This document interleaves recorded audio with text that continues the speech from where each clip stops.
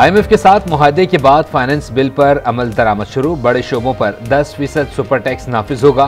Petroleum levy 50 से बढ़ाकर पचपन रुपए हो गई। वज़ीर खारजा बिलावल भुट्टो चार रोजा दौरे पर जापान पहुँच गए। बिलावल भुट्टो की जापानी क्यादत से मुलाकात होगी। पाक जापान ताल्लुकात और खत्े की सूरत हाल पर तबादला ख्याल होगा। पंजाब में पीपल्स पार्टी की टारगेटेड नशस्तें हैं। अभी बिलावल को वज़ीर अजम बनाने की बात नहीं की। रहनुमा पीपल्स पार्टी खुर्शीद शाह कहते हैं, बलूचिस्तान और के पी में पोजीशन बेहतर हो रही है। आज न्यूज़ से गुफ्तु में कहा, ये मिसाक जमहूरियत का हुसन है कि चौथी दफ़ा पार्लियामेंट अपनी मुद्दत पूरी कर रही है। इलेक्शन में इतिहादी पार्टियों से सीट एडजस्टमेंट करेंगे। इलेक्शन कमीशन ने आम इंतबात के लिए तैयारियाँ तेज कर दी। इंतबी निशान के हसूल के लिए उम्मीदवारों और सियासी जमातों से 19 जुलाई तक दरख्वास्त तलब। पंजाब और के पी इलेक्शन के लिए दोबारा दरख्वास्तें जमा कराने की हिदायत। आईएमएफ से कर्जा लेना लम्हा फिक्रिया नहीं लम्हा फ़िक्र है।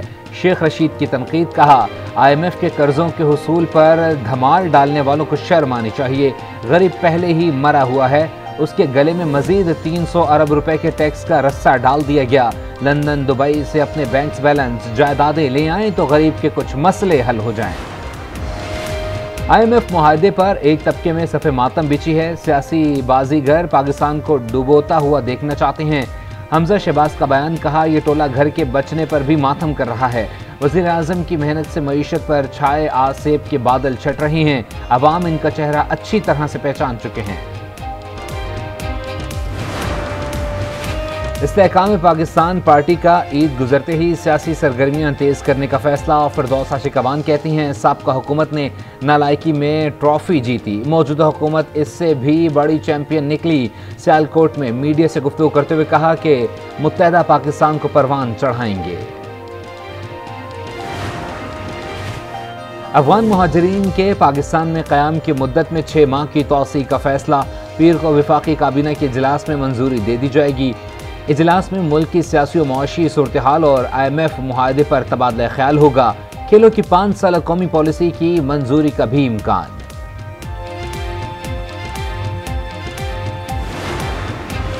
कराची में नौजवान घर से दफ्तर आते हुए कई बार लुट जाते हैं। खालिद मकबूल सिद्दीकी कहते हैं, कराची में चोर, डाकू, सिपाही सब इम्पोर्टेंट हैं। गवर्नर सिंह से दरख्वास्त है क्राइम की रोकथाम के लिए कमीशन तश्कील दें। ईद उल अजहा का तीसरा और आखिरी रोज। शहरी घर के खानों के बाद जायका बदलने फ़ूड स्ट्रीट्स पहुँच गए। कुछ लोगों ने घर से गोश्त लाकर मनपसंद पकवान तैयार करवाए। इंजॉय कर रहे हैं हम पार्क में आए हमको बड़ा मज़ा आ रहा है। ईद पर बहुत मज़ा आ रहा है। पार्क में बहुत रश है। इंजॉय कर रहे हैं। मैं इंजॉय कर रहे हैं और पार्क वो रश है। बड़ी ईद की बड़ी खुशियाँ, बच्चों की मौज मस्तियाँ। तफरी गाहों पर खूब रश रहा।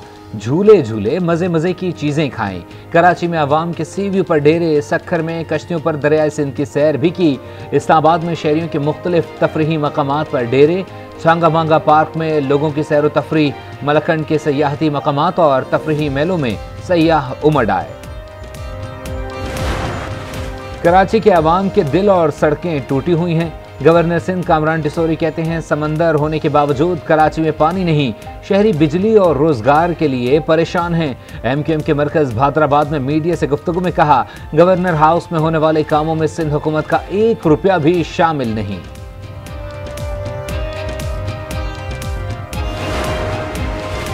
कराची में बिजली की बदतरीन लोड शेडिंग ने ईद का मज़ाक किरकिरा कर दिया। कई घंटों की बिजली बंदिश से शहरी परेशान। महकमे मौसमियात के मुताबिक दर्जा हरारत सैंतीस डिग्री तक रिकॉर्ड किया गया। शदीद नमी के बायस गर्मी की शिद्दत चवालीस डिग्री तक महसूस की गई।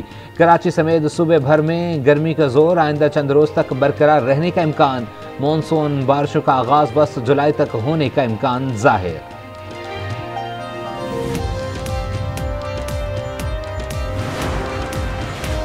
वज़ीर दिफा ख्वाजा आसिफ की शदीद गर्मी के मौसम में तैराकी, सियालकोट की मोतरा नहर में छलांग लगा दी, वीडियो वायरल हो गई।